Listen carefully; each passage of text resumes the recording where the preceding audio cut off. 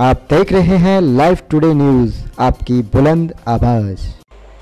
जनपद मुजफ्फरनगर के चरथावल थाना क्षेत्र के कसौली गाँव में मामूली कहासुनी होने पर कलयुगी बेटे ने पिता के सिर में लोहे की रॉड मारकर उतारा मौत के घाट। सीओ सदर कुलदीप कुमार ने मौके पर पहुंचकर ली पूरी घटना की जानकारी। दरअसल मामला मुजफ्फरनगर जनपद के चरथावल थाना क्षेत्र के कसौली गाँव का है, जहाँ कलयुगी बेटे ने पिता के साथ मामूली कहासुनी होने पर पिता के सिर में लोहे की रॉड मारकर मौत के घाट उतार दिया और मौके से फरार हो गया। सीओ सदर कुलदीप कुमार और थाना प्रभारी सूबे सिंह ने पुलिस फोर्स के साथ मौके पर पहुंचकर घटना की जानकारी ली है। सीओ सदन ने जानकारी देते हुए बताया कि पिता और पुत्र में किसी बात को लेकर कहासुनी हो गई थी, जिसके बाद पुत्र ने आवेश में आकर वहीं पर पड़ी लोहे की रॉड से पिता के सिर पर कई बार किए, जिससे पिता की मौके पर ही मौत हो गई। आरोपी युवक मौके से फरार हो गया, जिसकी तलाश की जा रही है। जल्द ही आरोपी को गिरफ़्तार कर लिया जाएगा। साथ ही पुलिस ने शव का पंचनामा भरकर पोस्टमार्टम के लिए भेज दिया है।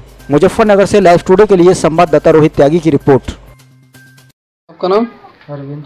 अरविंद क्या हुआ पूरा मामला? आपको बताया था नहीं मामला क्या आप बता दो। हमने उधर ही गया था भाई हमने कहा था नाज मगर नाज गया कोठी में।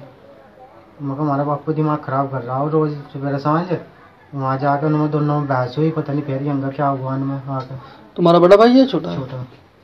तो तुम्हारे पिताजी में और भाई में झगड़ा? हुआ क्या कैसे हत्या हत्या कैसे हुई उसे? अब ये नहीं हम कह सकते कि हम तो इधर पड़े हैं। आज पिता पुत्र के झगड़े में पिता की मौत हुई है, क्या है कारण ये चरखावल थाना क्षेत्र के अंतर्गत एक गाँव है, कसोली। वहाँ पे पिता पुत्र में मामूली बात को लेके, घरेलू झगड़े को लेके कहासुनी हुई और जो पुत्र है, जिसका नाम है अर्जुन, उम्र तकरीबन तेईस साल है।